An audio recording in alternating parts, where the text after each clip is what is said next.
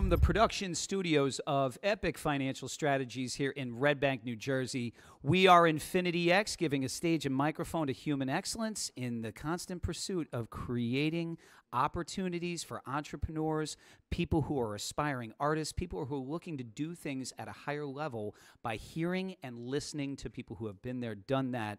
And ladies and gentlemen, I I, I have to tell you, when you're talking about been there and done that, look no further than Johnnie Truesdale, right? Johnnie, how you doing tonight?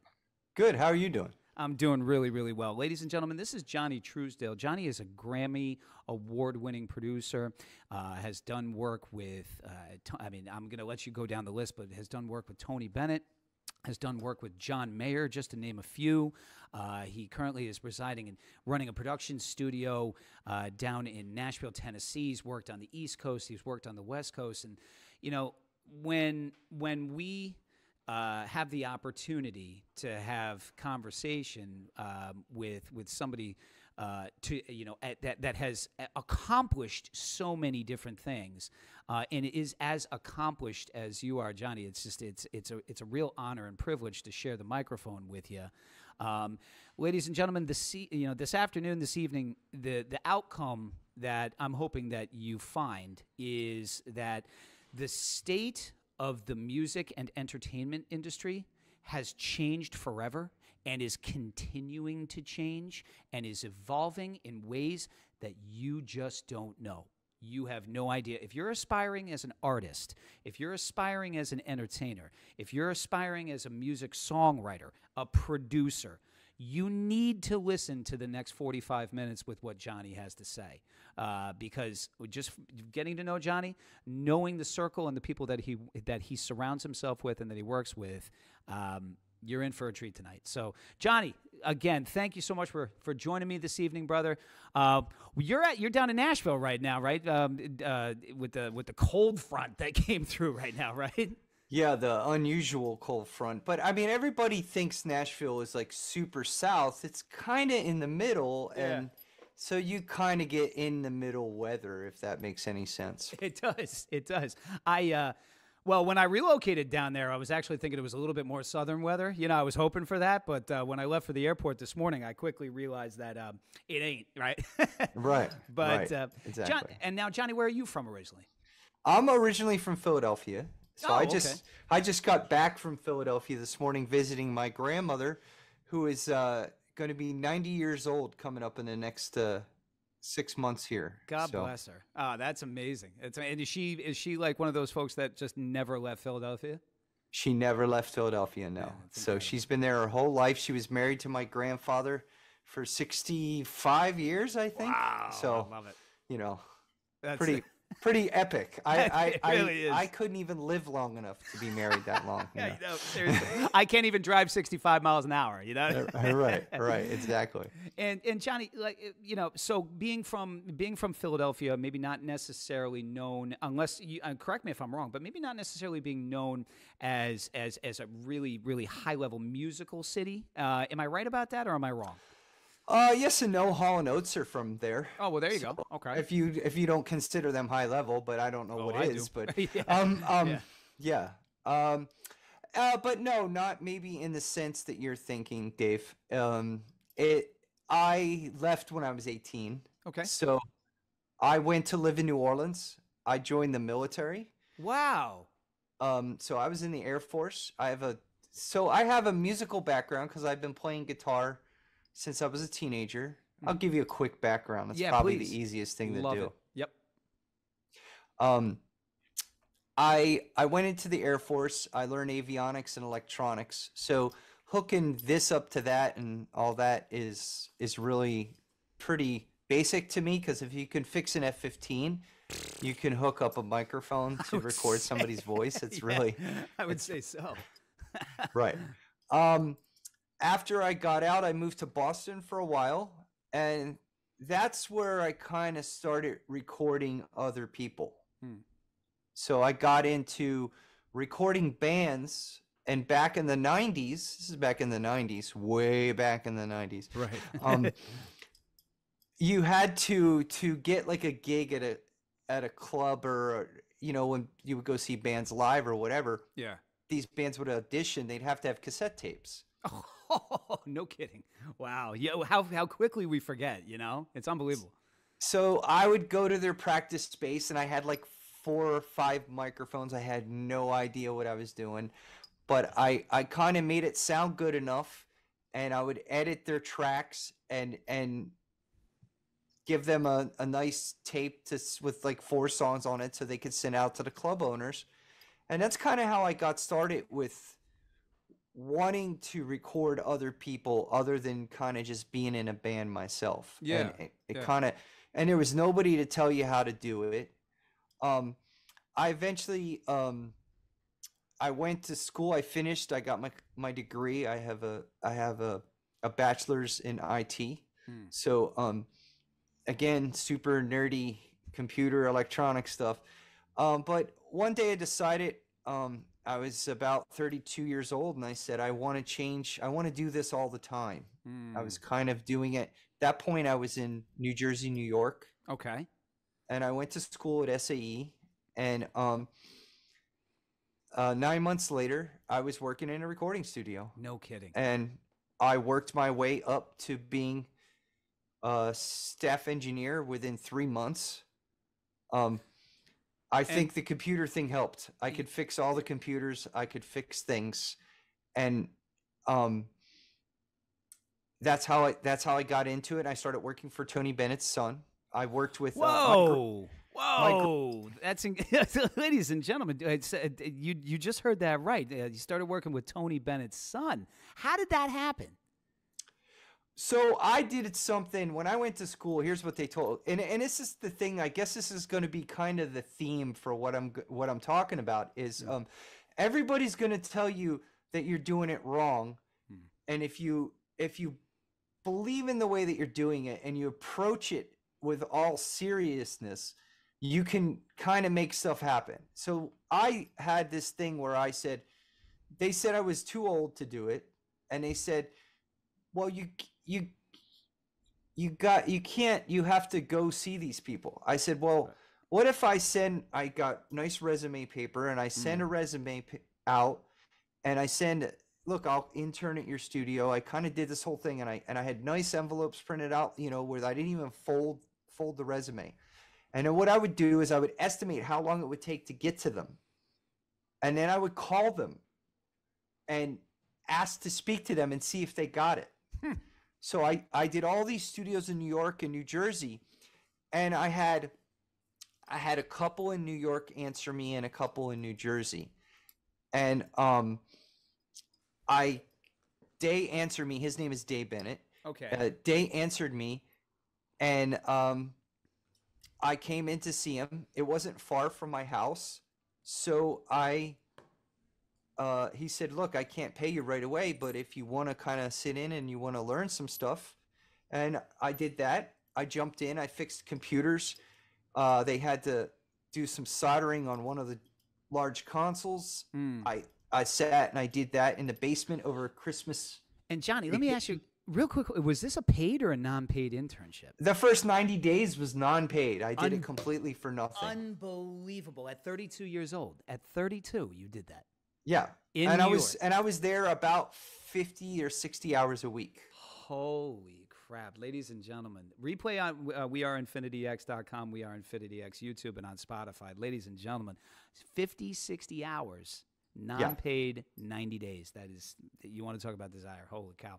Go ahead, brother. I'm, I'm just, I'm loving this. So, you know, and then after that I I started uh, you know, uh, 3 months later they started giving me sessions and I did like the crappy overnight sessions. Mm-hmm. where you start at like 10 o'clock at night and and you know then it progressed on where i started assisting things and then uh bigger things you know and that's how i got into so the so the grammy was for engineering in 2009 so i did this i had my grammy within two years of me walking in there doing that Unbelievable.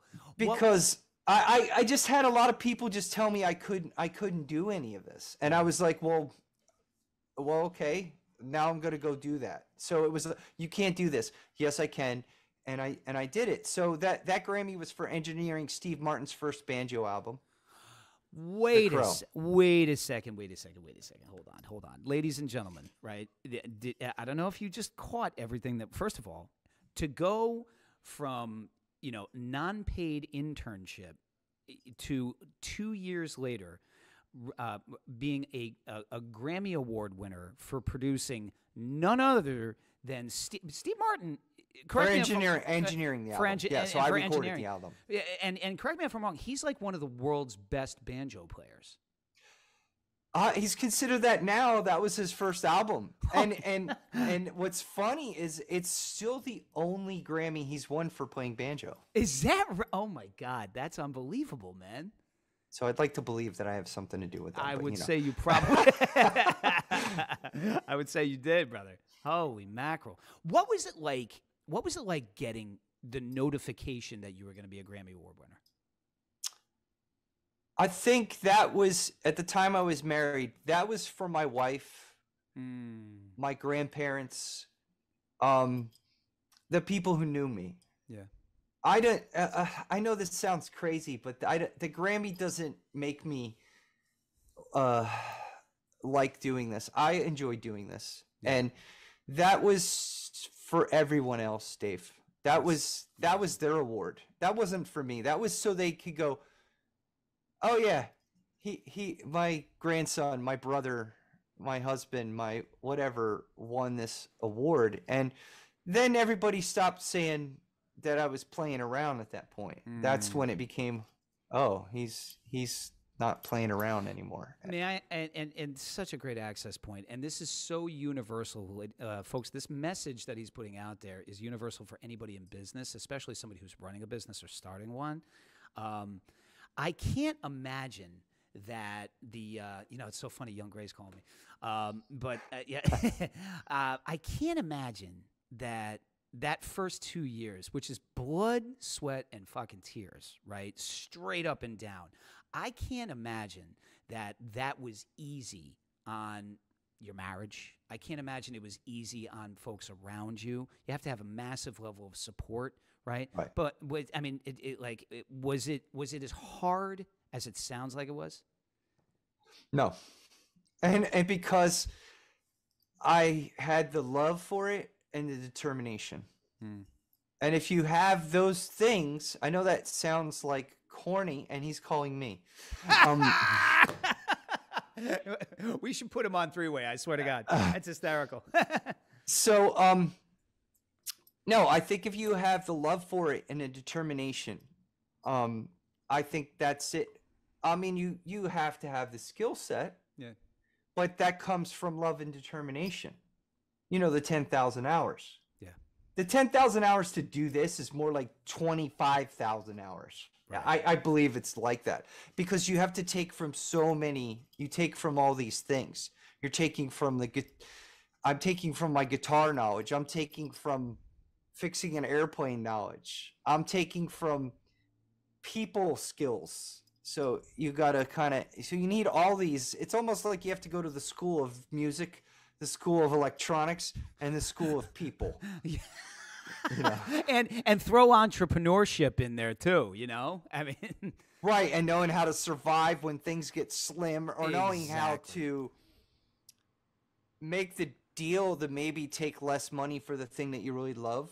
Yeah. And and and you know that sort of thing. Sometimes that's the sacrifice that you have to make. You go, look, I really want to work on this, Yeah. so I'll come off my my price because I'd like to I like to do this or whatever. And so, uh, ladies and gentlemen, replay we are infinityx.com, we are infinityx YouTube, and on Spotify, and all the other channels that we're on, which is quite a few. Um, so, Johnnie, so, so, so you win the Grammy, right? Um, Work on, uh, you know, uh, do do the work on on Steve's album.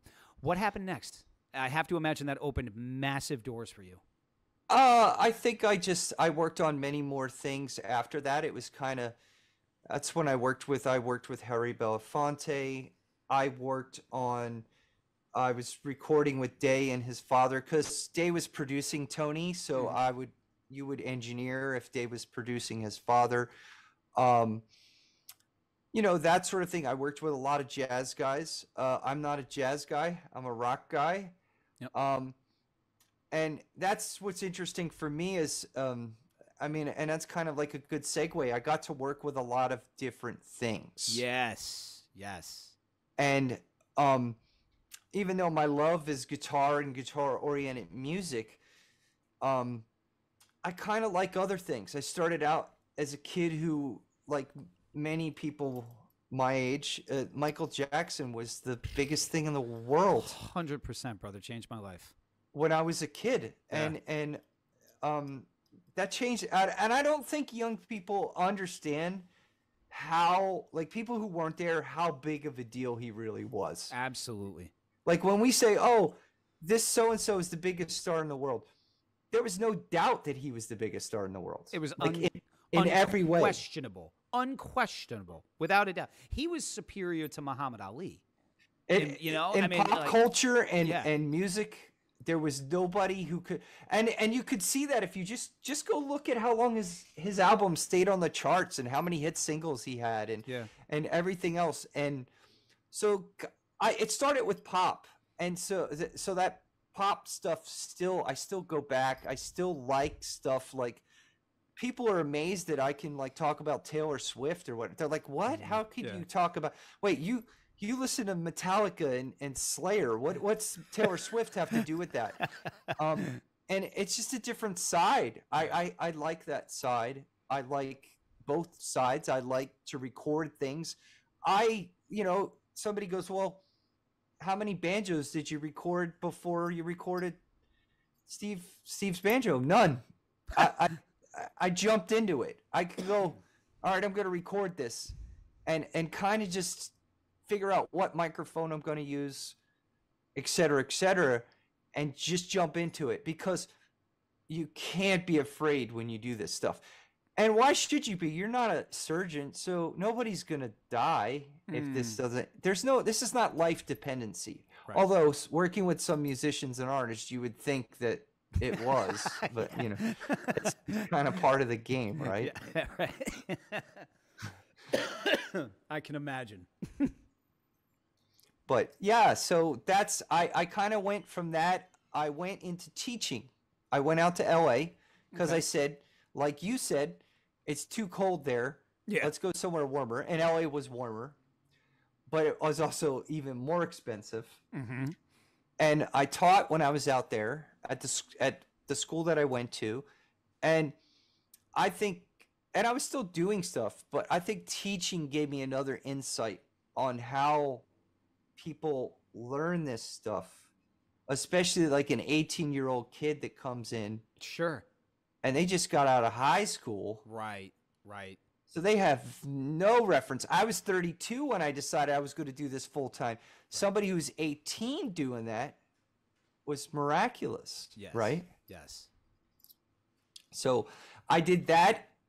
I got tired of it costing too much money, Hmm. and I said, "Nashville seems nice," Yeah. and that, and that's what I did. I, I I I went to Nashville and I made my own studio. Um, and that's what I've been doing ever since. I have recently sold my studio and my house, Wow. but but I own the property next door, and I'm going to build a new one. Woo! I love that. I love that. Ladies and gentlemen, this is Johnnie Truesdale. You can find him at Johnnie Truesdale on Instagram.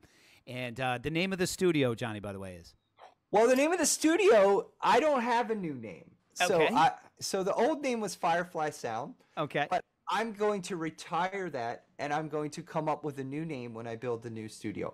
Because the studio is fine, it's one thing, right? But I'm the reason that people come to me. Absolutely. Uh, the stu- studio equipment's beautiful. I love equipment. I have lots of it. It's kind of ridiculous. Some some of the so much stuff I have, but that doesn't make that doesn't make it. What makes it is knowing a how to use it, and knowing what knowing um, how to use it, but also just knowing your equipment. You know how Well- when you get a new car, you go Yeah. to you go somewhere, you rent a car, and you can't find where do you put it in drive or reverse, and you fumble around with it. Mm-hmm. Mm-hmm. Well, you can't do that when you're working with recording stuff. You have to know where it is set it to this set it to that do Yep. this do that you know Yep. do that whole thing you know so you can't fumble around and and that's the thing that people they think they need all this stuff but what you really need is to be good at the stuff that you have Mm, absolutely, absolutely. And Johnnie, let you, let's let's play in that space for a minute because okay, this is uh, you know this is a little bit where I'm going to say rubber meets road, right?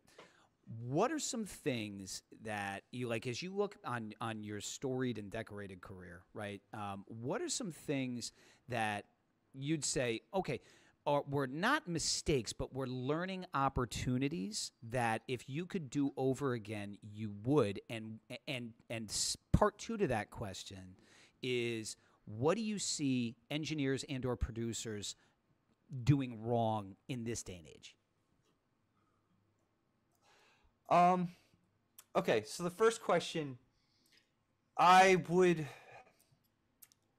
not worry so much. Hmm.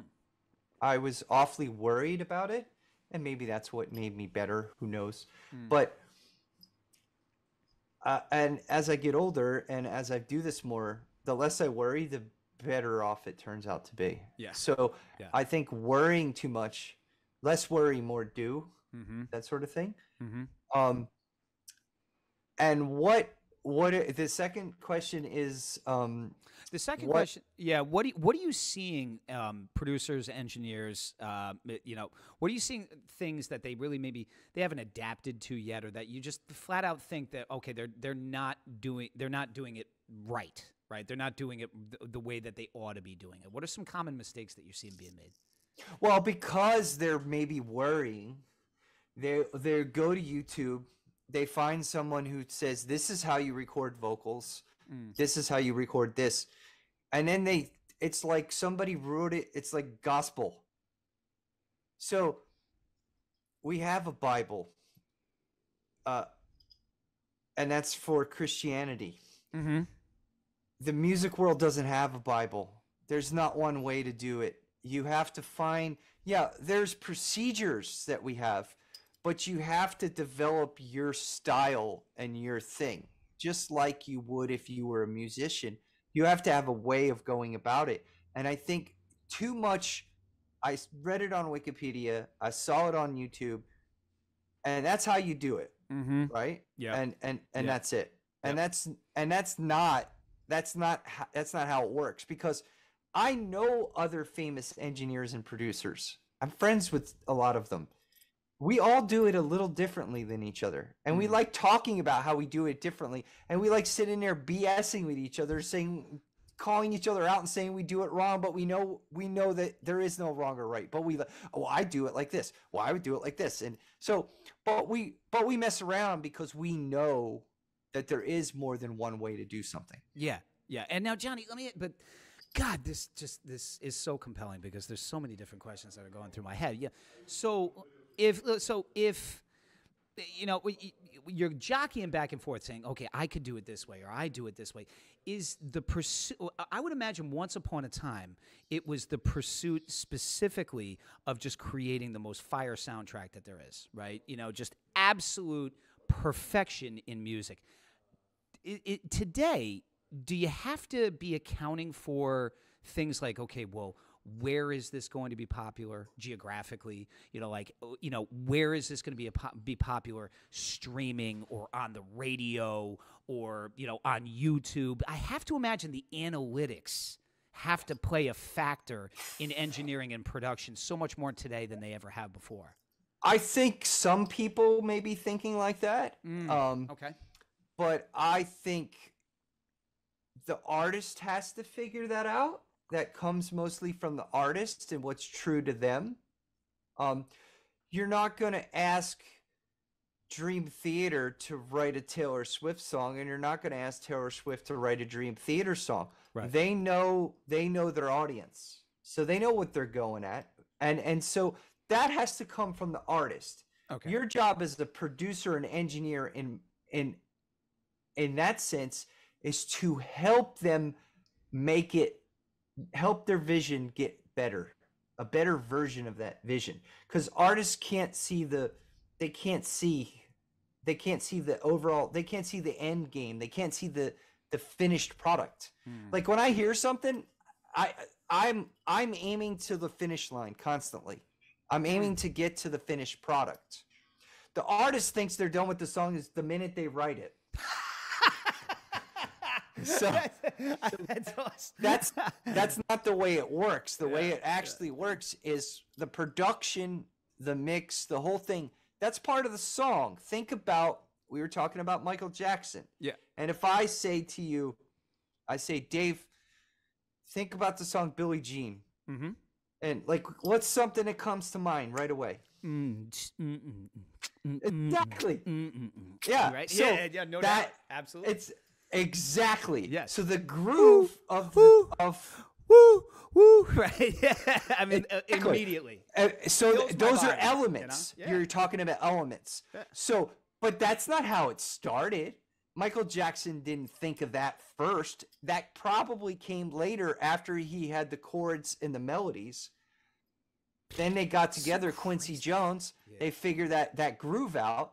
And like you said, the first thing you thought of was the groove. It's the Well, the- bass, the bass, the, the bass that hits you in that. It's just like it's unlike it's unlike that groove is unlike any other groove I've ever encountered. And I'm know? very sure that was done nowhere near when the song the song was written, and then the groove was they came up with the groove later on. that is crazy. you know, That you know, very rarely would have that been the first thing that was done when you're writing a song.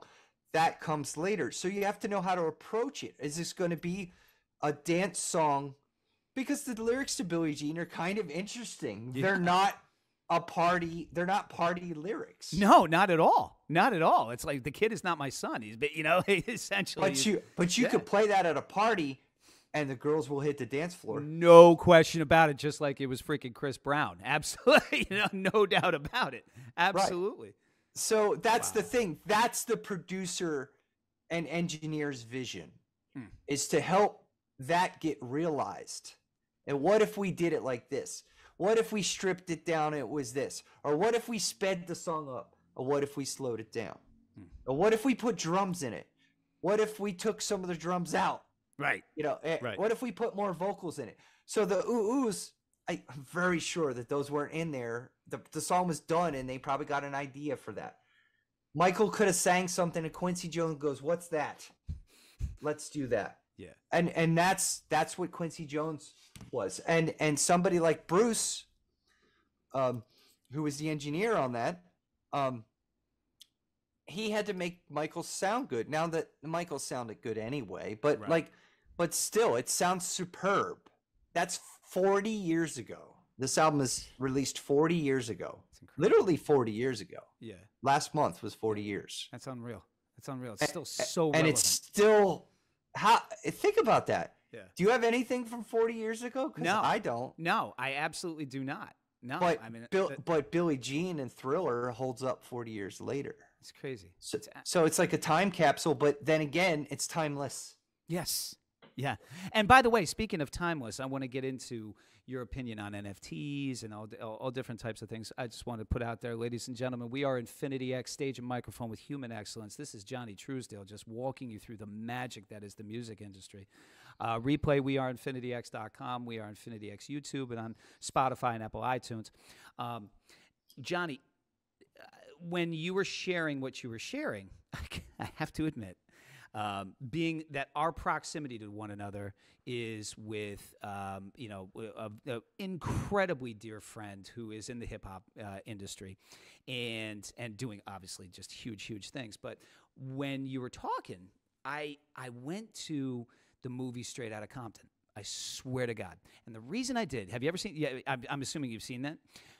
Um, do you remember the scene when Dr. Dre is coming up with the hook for, or you know, I guess the the melody or the groove for nothing but a G thing, and then mm-hmm. S and then Snoop Dogg walks over. He walks over. He's like, "Oh, Dre, what is that?" You know, and then he's and then and then based off of the keyboarding, he jumps right into one, two, three, to you know, and and is that is that how it is today? Like, is it has that has that trend of what happened with Michael and Quincy and that product is that shifted to here's a beat, write a rhyme kind of thing, or like is it still is, is it still the way that it used to be?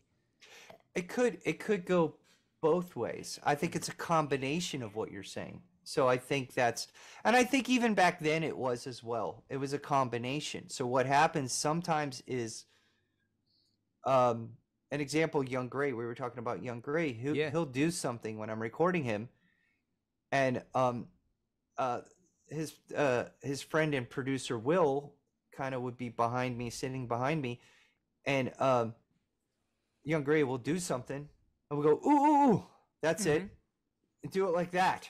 Yeah, but and because he's on the mic, he doesn't even kind of hear what he's doing. Yeah. His flow, his rhythmic ability, whatever you want to call it, happens. Do it like that because that sounds great. And and let's and sometimes they they can't tell that they're not doing the flow right, or singers can't tell the pitch is not right, or or whatever the case may be. So, um, so that does happen where you go ooh ooh ooh, and and that's why sitting alone in the room by yourself and not working with other people can be a real big problem because there's nobody to go ooh ooh ooh. Hmm. That's really cool. Let's do that That's incredible. and that's that's that's what that's what we need to keep up I, I i it's fine working by yourself it it really is but you literally need another human being to go that's dope or that sucks right. because Right. some things that i thought were things that i played on guitar i'm like ah yeah this is great and then i listen back and i go that sucks yeah. yeah. or i go or i go oh god this sucks but i'll, I'll send it to them anyway and they're like oh my god, Oh God, that was, amazing. fire, right? Yeah, no. So Yeah. sometimes you don't know. Yep. You, you don't know. So you need other human beings there. That feedback, that that push and pull that comes from working with an artist. And when it when it happens, maybe it's a lyric suggestion, maybe it's a, a flow suggestion, and you play it back over the speakers. I'm pointing to the speakers because I have speakers right here in front of me Yep. when you play it back and it's bumping and the whole room is slamming, everybody goes, "Oh!" Mhm. That's how you know. When everybody gets squinty eyed and goes, "Oh!" That's how you know. that's how you know you got know it right. You got it right. Oh my God, I love it. We are Infinity X stage and microphone. This is Johnnie Truesdale just dropping knowledge here, boy.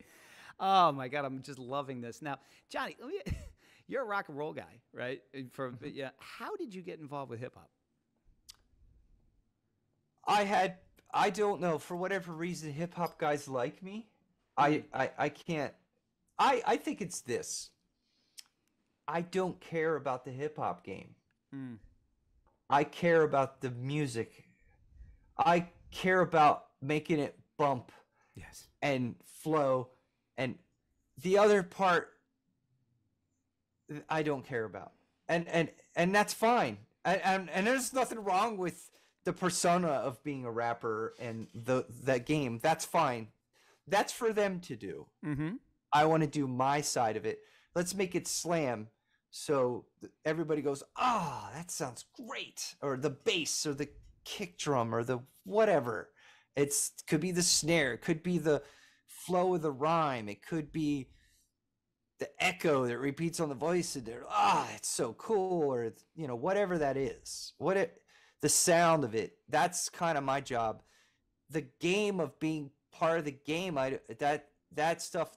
I, that's why I don't want to be in a band. I don't want to Mm. be. Thanks, I'm done.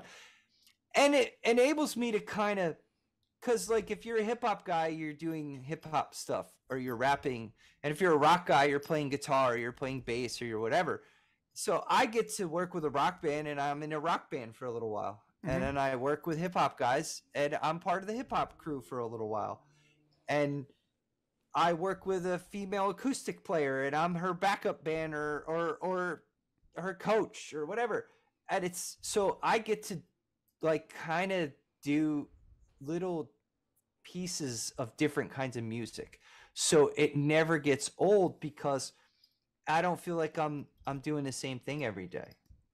That's oh my God, that is just so incredible, and that's why you don't work a day in your life, brother, because you're literally doing something new and exciting and fun each and every single day that you continue to have. Sure, it's it's work, and and Well, yeah, yeah. but Right. I, I think that people another thing that people don't understand is that part of the work we talked about that human element Mhm. right Mhm. um that is the biggest part of the job if you can't relate to another human being when you're recording them or you're doing anything you'll never do this. I don't care how good you are at it you have to be able to relate to them. It because again we talked about how much fun michael jackson was when we were younger. Yeah. um fun is how it has to be. It, it has to feel fun. And when it does then then you know you're doing it right. Right. you know if it's fun if not it shouldn't be stressful. If it's stressful what's the point of that? Again remember i said it's not brain surgery. That's it's it, has to be it has to have that element in it where it's fun to do and stuff. And and i know that musicians take it very serious. Mm. but if you don't have fun doing it then there's no point in in doing it. I know that sounds No, that is like it's it, it it it's beautifully cliche because that makes all the sense in the world, you know. And I'm sitting here as you're sharing, Johnnie. I'm sitting here saying to myself, Jesus, you know, if I was if I was an artist, you would literally I would be banging on your door begging to work with you. You know what I mean? And one of the things that you shared with me on the phone last night that I thought was so interesting is that many of uh, and I guess we're, we're kind of in the state of where music is today, but many of the artists that you work with, you've never even met. That's correct in person yeah That's incredible. How do you develop that rapport and relationship when you actually have not been in a studio physically with these people? so sometimes it's like this or facetime Yeah. um uh sometimes it's phone calls like you and i had a good phone call and we didn't meet face to face Oh, that's I true. we had a, a so Yep. uh, it's because you have to understand you're providing a s- service to them so they're your client and you must think of them as such Yep. you know so Yep. they got to be comfortable with you you don't want you don't want the guy okay there's you know what you know what i want i want somebody who knows how to manage my money to be a financial planner and i want somebody who knows how to fix my toilet to be a plumber Right. right It's so true, i don't want my It's so financial planner fixing my toilet and Plumbing, I don't want right? plumber telling me how to financially plan And by the way, and by the way, Johnnie, we are in an economy right now where you know, like a year ago, your barber was talking to you about you know what what's happening in the real estate market and what's happening in the markets, right? You know, Right. and and now you're in you were in one where they're telling you to get out. Look, run away from those people, right? That is Right. fake confusion at its finest, right there. They have no clue what's going on. Right. But- so when people tell me, well, oh, well, my friend was listening to the mix and the blah, blah, blah. And I, well, what does your friend do? Well, he's a, he's a, he mows lawns. and so I'm like, well, well, what? First of all, he probably can't hear anything because he's mowing lawns, and and second of all, um, or it doesn't matter what he does. He could be a doctor, and I've like I'm not singling him out because he mows lawns or a doc. It, the- I don't know what they're listening on. I don't know what their experience is. So when they tell me, "Oh, this," what I always kind of tell artists is, artists want so many people to give them advice Mm. On everything they need. And the problem is that's not what they need. They need the few people who know them Yes. Yes. and or the music that they're trying to achieve. Everyone else is static. Everyone else is noise. Hmm.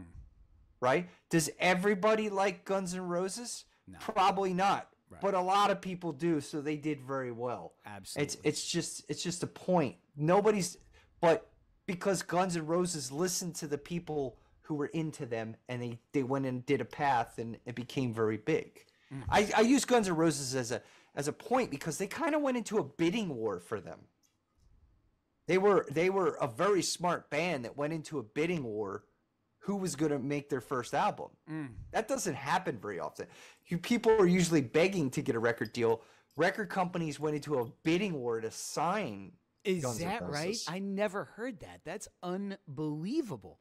That's Yeah. unbelievable. So let me ask you now state of music where we are right now. Who is the artist that labels, I mean, and you don't have to single out the, the name or the individual, but the genre, if you will. Who's the artist that, that the labels are competing for now? Like frothing at the mouth? I don't. I think other than some of, I think it keeps changing. Hmm. I think hip hop artists are very popular now. Hip hop, hip hop and rap artists are very popular now. But I, I don't know because I, I don't know what the the music industry is doing because these labels have enough power. They could literally take anything and push it. But in the end, we could talk about, oh, well, hip hop's to the top and this and this is to the top and blah, blah, blah. And rock is dead and this is dead and this is here and this is up and this is down. But in the end, what we do know is pop music in general always survives. Hmm. Every, all the time. No it matter just, what. ch- It changes. Yeah. So so whatever the pop music is, so that pop music could have a rock influence. That pop music could have a country influence. I mean, look at I I was talking to my grandmother. We'll, we'll circle back to the beginning of the and she turned on that like that music channel that you have on the cable vision Yeah. and and and and she turned on the country thing and it was today's country Yeah. and my grandmother turns to me and goes this is not country can you help me turn it on to the because it was today's country which Yeah. is more like rock music It totally is. Like you know, like Florida Georgia line is the first one that comes to mind. That is not Yeah. traditional country, right? right what she's so used to anyway. c- today's country so when we say country we can't even use that anymore because george strait doesn't sound like florida georgia line Right. Florida Georgia line takes like some twang, slams it to a hip hop beat, and Yeah. then let's call it country. Yeah. and, and that's fine. I'm not. I'm not slagging that. They're Yeah. doing what they're doing, but you have to. It's usually what happens is something incorporates something else. You know. So I think. I don't know if there is one big thing, but if we take somebody like Machine Gun Kelly, Yeah. Yeah. Yeah. he had a lot of success as a hip hop guy. Yeah. But then he said, oh, I've got to kind of do this pop punk thing and start playing guitar. And I think he has more success. He has. Yeah. He's ridiculous. He's So who knows? So up. who knows? That that's what I'm saying. Who would have thought that? If I if I said to you, Dave, Machine Gun Kelly five years ago, you would have never mentioned the guitar. Never. Absolutely not. No. No. No. It was all rap all day. Right. He You does know? he does a Motley Crue movie. People go, that dude looks like a rock star. Yeah. And he goes, uh, Okay. I, am going to be a rock star. Yeah. and and and that's Unbelievable. it's, it's so you can you don't have to like him, but you have to you have to appreciate that game. Yeah. That going recognizing, hey, people want to see me play this really cool pink guitar, Hmm. and he plays a pink guitar, I know. right? right? Yeah. And and and I and I even I, I was like, you know, I got to give him credit. It's kind of cool. Yeah. You know, you know, I, I, I, felt the exact same way when I saw it for the first time. I was like, okay, I don't hate that. You know. this might be more him than what it was before. A hmm. pr- another prime example of somebody who switched gears and made a giant career out of it was Kid Rock. Oh, absolutely. Yeah, He constantly Detroit hip hop. Absolutely, he was rocking the high low, and like you know, he was like he he he was all hip hop all day, and that totally has that that changed to rock. Then it changed to right. It changed to country. It, it's morphed multiple times. Now, now he's he he just does where his heart takes him, That's so awesome. and and and you can kind of see that. Yeah. Look how Dr. Dre was hard, and and NWA was this thing, and then the next thing when he does his solo stuff, it's kind of fun. Yeah. the kind of the hardness goes away. It's Southern California. You know, that's a different thing. Girls in bikinis at the party. Well, you mentioned Young Gray. Look at Snoop, right? On Celebrate relative to Nothing But a G thing. You know what I mean? It's like, Yeah. you know, same swag, just, you know, different energy, you know? And so that's people. So That's crazy. if artists don't know where they're going, Yeah. I don't know that the record company, the record companies know where things are going. I don't think any of us can know where things are going. We just try to make the best kind of music you can. another uh, another prime example is Uptown Funk. Mm, That sounds like an old Prince or the Time song from the 80s. totally does. Yeah. And uh, uh, but they found that and said, "Oh, there's a lane.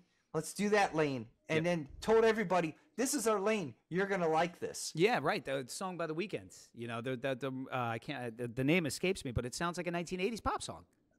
Right. And and and I say this when it comes to that, when it comes to music, Hmm. you could tell people what to like. No, this is good. No, it's not. No, it is. Listen to it. And oh, oh, maybe it is kind of good. Because if you could explain to somebody who doesn't know why it would be good, Yeah. why it's good, they they they can turn around and see the good in it. Well, that's and and Johnnie, to your point, that is every human being's. And my buddy Sean Callagy says this all the time.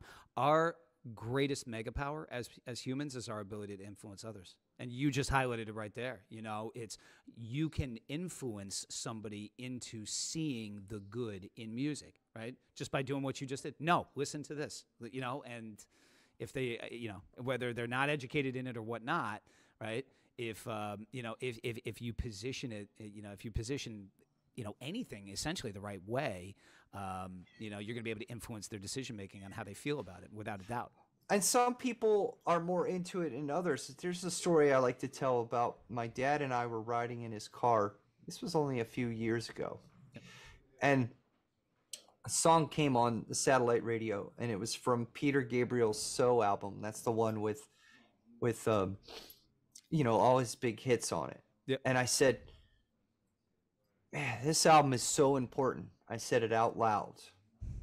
And um my dad goes i don't how can it how can a album or a song be important?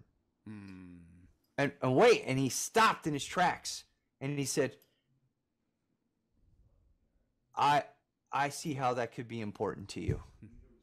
I, I get it. Like he he thought about it for a second and, and it's like well that that song sledgehammer it's cool to me but to you it's it's important because you learn things with production and and music is is much more important to me than an average person so i do think an average person can be swayed Yep. by those and this this can kind of circle back why we need more people who have more experience working you can't go with all your friends and nobody knows nothing because nothing will come out. You 100%. have to go seek people who know things, Been there, done and that. we because we need to keep this ball rolling. yep, yep. We- People are going to record music after I die, and and if one thing that I taught somebody gets passed on to someone else and that happens, then I did my job while I was here. Amen. It, it- we have to keep it going. It's a very po- important part of world culture is to record music and listen to music. Everybody straps these things on. They put on the earbuds. That's more part of our of the whole entire world than Yep. ever before. Yep. So we got to keep that going. So I think one of the problems and one of the things that we need is people need to seek out people with more experience.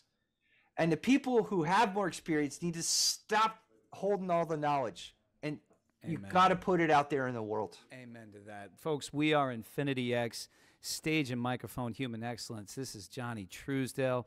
Just, I, I, Johnnie, I don't even, I, I can't even sum up in one sentence the value add and and just the knowledge that you have dropped here this afternoon. And, and I have a question for you, Johnnie. Would you be down for a round two, brother? Because we could keep going like this for hours. But Sure, we can do another one. Would you be- I- Absolutely. I'll get in touch with you afterwards. I just wanted to thank you um, on behalf of the the audience. Um, who are aspiring artists, aspiring entertainers, aspiring engineers, aspiring producers, aspiring entrepreneurs. If you have not um, paid attention to Johnnie's messaging, the consistency of Johnnie's messaging, and the courage in Johnnie's mes- messaging, replay we are infinityx.com we are infinityx youtube and download it on spotify because there's been a massive massive value add in the message constantly straight throughout. It's one of courage and it's it's just uh, johnnie i i am truly honored to have shared the last hour with you on this stage brother and i cannot wait to continue to co-create with you man Thank you. you're welcome. You're welcome. I appreciate it. Ladies and gentlemen, we are Infinity X, stage and microphone, human excellence. This has been Johnnie Truesdale. Pay attention, Johnnie Truesdale, round two. Replay we are infinityx.com, Spotify, Apple, iTunes, and um, we are Infinity X YouTube. Johnnie, really, really value you, brother. Appreciate you spending time with us this afternoon, and um, you know, God bless you, brother. Appreciate you. Thank, thanks for having me on, Dave. Yeah, anytime, bud. Appreciate it.